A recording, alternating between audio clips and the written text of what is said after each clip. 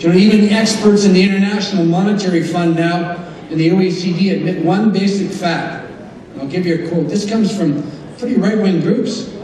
They said this, the single best public policy mechanism to narrow that income gap is broad-based collective bargaining. I couldn't agree more.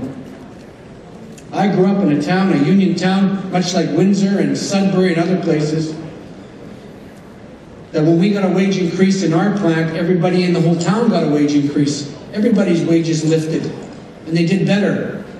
Heck, I grew up, I want to date myself, but you could earn a living supporting a family working at a grocery store.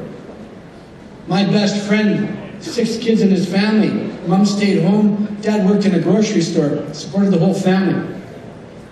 Retired in dignity with a great pension negotiated by the UFCW. What's happened to our society? It's just as rich as it was then. But now people can't earn a living with two jobs. You have to get four jobs. It's an amazing change that's taken place, and these rich people are getting richer. It's astonishing to see this happen. The belonging to a union hasn't changed.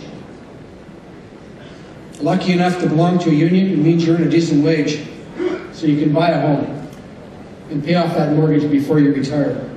Buy a car, raise a family, take a vacation once in a while, put your kids through college or university, and after a lifetime of hard work, retire in dignity.